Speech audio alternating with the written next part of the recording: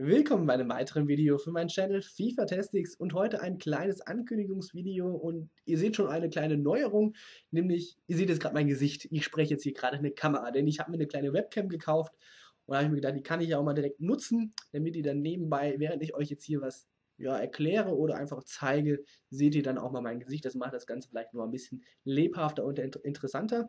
Und was ihr dann auch seht, ist jetzt hier, ihr kennt es ja vielleicht noch aus dem einen Video, wo ich mit meiner Schwester gespielt habe, habe ich auch mal eine Facecam gehabt.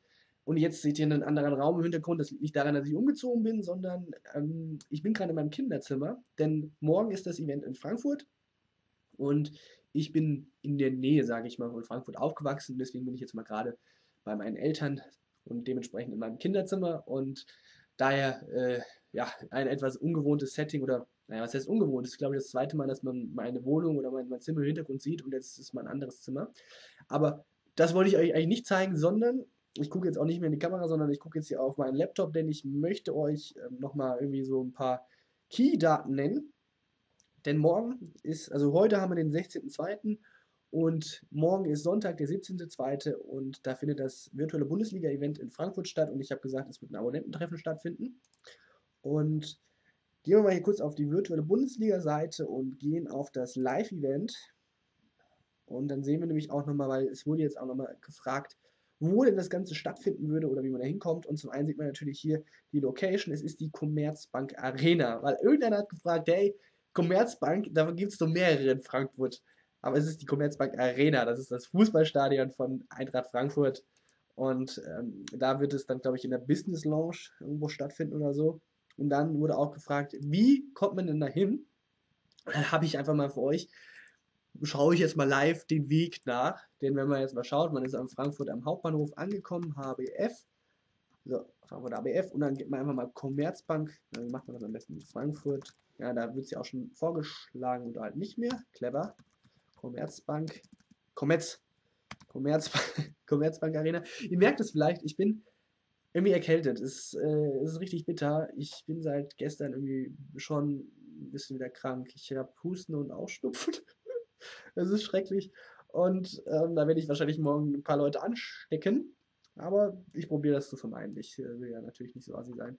So, und dann gucken wir einfach mal, wenn man um 11 Uhr da sein möchte, wenn man am Hauptbahnhof um 11 Uhr da ist, dann äh, wie lange man dann quasi zur Commerzbank Arena braucht. Es ist, glaube ich, nämlich nur eine S-Bahnfahrt.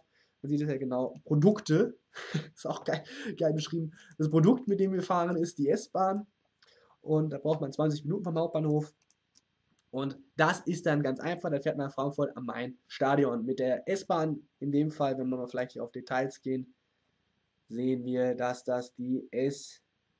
Was steht das? S9. Die S9 ist. Ich gucke mal kurz, ob das immer die S9 ist. Nee, es fährt auch die S7 da anscheinend.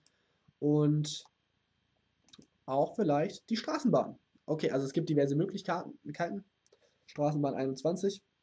Und das ist auch meine Devise. Ich werde immer in Frankfurt am Hauptbahnhof ankommen und werde dann einfach mit der S-Bahn oder mit der Straßenbahn zum Stadion weiterfahren und von dort aus wird es dann hoffentlich vernünftig ausgeschildert sein. Und ja, es hatte jemand unter meinem Video mehrfach gefragt, wie man hinkommt. Das ist zumindest meine Devise. Außer ich fahre vielleicht morgen noch mit dem Auto, aber das habe ich mit meinem Papa noch nicht abgeklärt. Ähm, kann ich auch verstehen, wenn das nicht möglich ist, weil dann wäre das Auto den ganzen Tag in Beschlagnahmung und das will ich ihm auch ehrlich gesagt gar nicht zumuten. Ähm, der sitzt jetzt gerade oben und weiß davon noch gar nichts, dass ich, das, dass ich da mal drüber nachgedacht habe, aber ich, ich mache jetzt hier auch keinen Druck, dass, weil er sieht das Video und wird sich jetzt denken, what the fuck, was labert der gerade? Also gut, what the fuck vielleicht nicht, aber er denkt sich so, hm, okay. Und ähm, was jetzt auch schon feststeht, habe ich gestern gesehen, die Gruppen wurden schon ausgelost und meine Gruppe steht auch schon fest. Oh, hm. Ich meine, prinzipiell kennt jeder inzwischen, der sich ein bisschen mit meinem Kanal beschäftigt, meinen Real-Life-Namen und prinzipiell werde ich es morgen auch nicht ver verbergen können. Und dementsprechend kann ich auch mal meine Gruppe zeigen. Ich bin in Gruppe 12 und ich bitte jetzt davon abzusehen, mir irgendwelche random Facebook-Freundschaftsanfragen zu schicken. Ich werde sie eh nicht annehmen, solange ich euch nicht kenne. Und ihr seht es, ich bin hier momentan noch auf Platz 4. Ich hoffe, da ist noch ein bisschen Luft nach oben. Okay, und ich spiele hier gegen Christian Wonke, Steffen Albert, Albert und Arthur Will. Das sind meine Gegner in der Gruppe. Ich kenne natürlich keinen von ihnen, also außer jetzt, das ist einer von Pro Gamer, aber ich habe mal ähm, nach den Namen geschaut. Ich habe jetzt nichts direkt gefunden in Bezug zu FIFA, also von daher hoffe ich, dass es jetzt nicht die krassesten Spieler sind und ähm, dass ich dann auch die Gruppenphase überstehen kann und dann denke ich Schritt für Schritt quasi in diesem Turnier Und ansonsten findet ja morgen auch das Abonnententreffen statt. Ich kann jetzt noch nicht hundertprozentig sagen, wann ich da sein werde. Es ist einfach nur so, dass die Anbindung sonntags zur Commerzbank Arena für mich so ist, dass ich, wenn ich einen Zug verpasse, dass ich eine Stunde später quasi mit dem nächsten Zug fahren kann. Hier, ich wohne hier in der Walachei. Und ähm, daher bin ich recht unflexibel, was meine Ankunftszeiten betrifft. Ich glaube, ich werde dann anstreben, um 10.30 Uhr ungefähr da zu sein und ich brauche eineinhalb Stunden oder, warte mal, ich glaube, für mich sind mögliche Abfahrtszeiten entweder 9.30 Uhr oder 10.30 Uhr oder halt 8.30 Uhr, sowas immer um den Dreh, immer so halb neun, halb zehn, halb elf. Und ich, ich, ich will mal überlegen, ob ich das jetzt hier eingebe, wie ich zu fahren habe, aber dann wisst ihr auch, wo ich wohne und das möchte ich eigentlich nicht, dass das jetzt bekannt ist. Ähm, wie mache also das, das schreibe ich dann auf jeden Fall nochmal auf. Also es wird sowieso so sein. Diejenigen, die vor Ort auch sein werden, genau, das wollte ich auch sowieso erzählen. Greife ich gerade mal zur Seite. Ich werde morgen wahrscheinlich die ganze Zeit mit diesen Kopfhörern rumlaufen, weil ich auch meine Spiele mit Kopfhörern machen werde. Und ansonsten werde ich die wahrscheinlich die ganze Zeit so um meinen Hals haben. Ich hoffe nur, dass die mich nicht abschnüren werden. Das sind die Kopfhörer, die ich, mal ein bisschen Product Placement hier, von ähm, dem YouTuber-Turnier gewonnen habe, EA Sports. Monster-Kopfhörer, äh, die kennt man anscheinend, wenn man sich ein bisschen mit solchen Sachen beschäftigt. Ähm, Monster, irgendwie die Studio Beats oder sowas von Dr. Dre, die scheinen irgendwie richtig bekannt zu sein. Und da habe ich hier quasi so eine Limited Edition gewonnen, weil es das damals noch nicht in Serie gab, dieses Headset. Und damit werde ich morgen wahrscheinlich die ganze Zeit rumlaufen. Und dann werde ich entweder, warte mal, machen mal groß, das so um meinen Hals tragen. Oder wenn ich spiele, werde ich es dann auf meinem Kopf tragen. Logischerweise. Und so könnt ihr mich dann auf jeden Fall, denke ich, erkennen. Ansonsten seht ihr jetzt auch nochmal mein Gesicht. Das ist ja auch, sage ich nochmal, dienlich. Und dann, wenn ihr mich seht, und ich habe gerade die Kopfhörer runter, das ist dann so eine Phase wahrscheinlich, wo ich äh, dann auch gerne bereit bin, ähm, dass, dass Leute mit mir sprechen und so weiter. Wenn ich die Kopfhörer aufhabe, äh, dann ist es wahrscheinlich so, dass ich mich gerade irgendwie konzentrieren möchte oder irgendwie abspannen möchte, keine Ahnung. Die Kopfhörer, muss ich ehrlich gesagt sagen, sind nicht so bequem. Also ich kann mir nicht vorstellen, mit den fünf Stunden am Tag äh, dauerhaft auf meinem Kopf zu tragen, weil sie dann doch, man sieht es ja auch, ähm, dann doch hier so Schraubzwängenmäßig, Commander Krieg gesagt dazu immer Schraubzwängen, ähm, mäßig drauf sind. Und deswegen kann ich die nicht den ganzen Tag tragen, aber ähm, ihr könnt mich an denen erkennen, denke ich, weil ich nehme an, dass ich der Einzige sein werde, der die trägt, außer die machen es so, wie ich, ich laber schon wieder total viel. Ich wollte gar nicht so viel erzählen, ich wollte es total kurz halten, aber inzwischen sind die nämlich in Serie gegangen und die gibt es inzwischen auch, zumindest in den USA, normal zu kaufen, aber mit einem minimal anderen Design. Und ich kann mir vielleicht vorstellen, dass die Leute von EA auch mit den Dingern rumlaufen werden, aber die sehen minimal anders aus. Ähm, aber ich denke, daran könnte man mich sicherlich gut erkennen. Und könnt ihr mich auch anlabern, habe ich ja gerade schon beschrieben. Und ansonsten werde ich auf Facebook, denke ich, hoffentlich regelmäßig auch irgendwie Updates geben, wie meine Spiele ausgegangen sind oder wann ich vielleicht im Livestream zu sehen sein werde. Das letzte Mal hatte ich ja in München drei Spiele im Livestream und ich hoffe natürlich auch heute, nee, nicht heute, auch morgen wird es der Fall sein, dass ich vielleicht mal im Livestream spielen kann.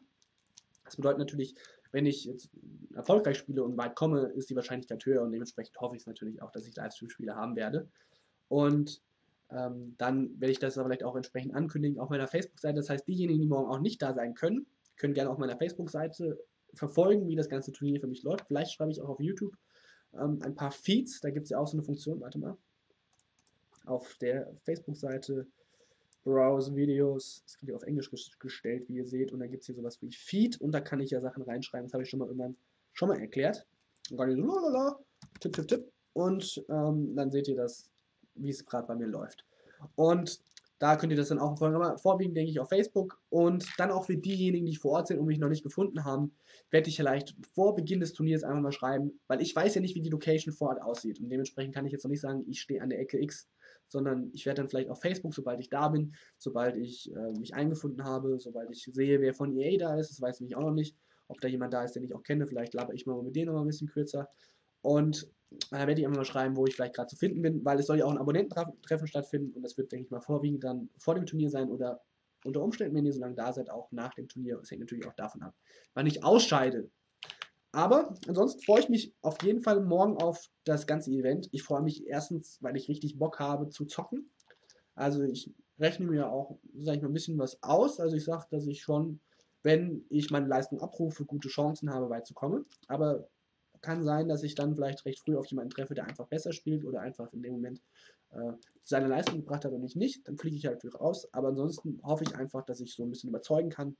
Und dann freue ich, also ich freue mich auf das Event an sich und ich freue mich, wenn irgendwelche Leute da sind, die wegen mir da sind. Ich denke, das wird es nicht geben, nur wegen mir glaube ich nicht, aber es gibt ja ein cooles Event noch dahinter und jeder, der da ist und mich erkennt und mich kurz anlabert, das freut mich einfach cool und mich vielleicht auch vor Ort unterstützt. Das finde ich mega geil, wenn ich mir vorstelle, da stehen da so ein paar Leute und die freuen sich einfach, wenn ich gewinnen sollte oder wenn ich spiele, unterstützen mich. Richtig cooles Gefühl und deswegen darauf freue ich mich, wenn das so sein sollte. Wenn nicht, ist auch nicht schlimm. Okay, jetzt habe ich genug gelabert. Ihr wisst Bescheid. Nochmal die Erklärung hier vom Hauptbahnhof mit der S-Bahn oder mit der Straßenbahn zur Haltestelle Frankfurt am Main Stadion. Das ist ganz einfach zu finden. Und dann hier meine Gruppe. Habt ihr jetzt auch schon gesehen. Und ich werde, wie gesagt, so zwischen 10 und 12 Uhr da sein. Ich werde vielleicht heute Abend nochmal auf Facebook oder ich werde vielleicht auf Facebook schreiben, sobald ich losfahre und ich weiß, wann ich da sein werde. Und dann will ich nochmal schreiben, wo ich anzufinden bin. So, das wollte ich alles erzählt haben. Habe ich jetzt auch erzählt und wie ihr mich erkennen könnt. Was ich anhabe, weiß ich noch nicht. Das entscheide ich vielleicht morgen spontan. Und dann sehen wir uns hoffentlich morgen. Ich würde mich freuen, wenn ihr mich anquatscht. Und das ist mein Desktop. Den solltet ihr eigentlich jetzt nicht sehen, aber habt ihr kurz gesehen. Wie dem auch sei, ich freue mich, wenn wir uns morgen sehen. Und wenn nicht, dass ihr mich unterstützt, wie auch immer, oder einfach das Ganze verfolgt. Vor allem, achso, wollte ich noch kurz sagen, äh, sieht man jetzt ja auch hier, hier wird es einen Livestream geben, habe ich ja eben schon angedeutet. Hier nochmal konkret, auch auf der virtuellen Bundesliga-Seite kann man dann auf den Livestream kommen. So, damit sind wir am Ende und ich habe alles gesagt. Halber und Kassen sauber, euer TS.